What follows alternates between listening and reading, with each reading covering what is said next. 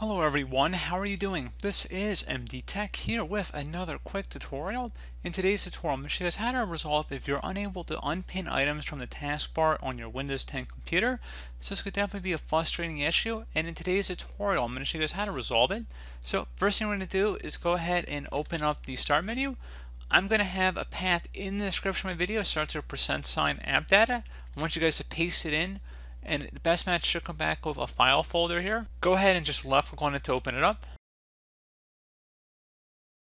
If you have any items you want to remove, just right click on them and delete. If you want to delete all of them, just highlight over all of them and delete. And then once you're done with that, you want to go ahead and close out of here and restart your computer.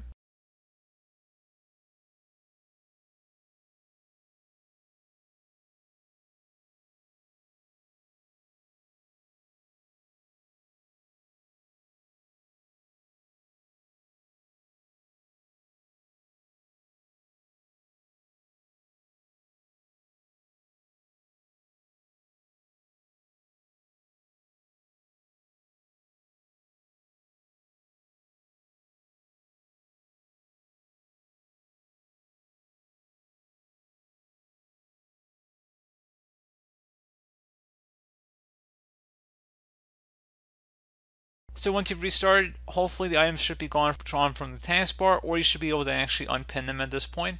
So pretty straightforward process, guys. Do hope that I was able to help you out, and I do look forward to catching you all in the next tutorial.